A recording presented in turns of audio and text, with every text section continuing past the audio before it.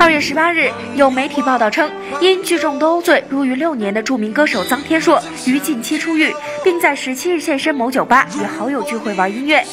二零零八年九月二十八日，臧天朔因与廊坊斗殴命案及多起恶性事件有关，涉及恶势力团伙而入狱。二零零九年十一月二十七日，臧天朔聚众斗殴罪名成立，一审被判六年。如果按照判刑日期来算，臧天朔应该在二零一六年出狱，但从二零零八年被北京警方拘捕，臧天朔已有超过一年半的时间被关押在看守所。按法律规定，犯人刑期过半就可以申请假释，因此臧天朔服刑满三年就可以获假释出狱。就此事，有记者联系到臧天朔的朋友乐评人郭志凯，他透露，臧天朔具体出狱的时间是蛇年正月初一，也就是二月十日。出狱后，臧天朔即于身边朋友聚会拜访亲友。对于臧天朔在狱中的境遇，郭志凯直言，臧天朔为人豪爽、友善又信佛，所以到哪里都会很快交到一群朋友。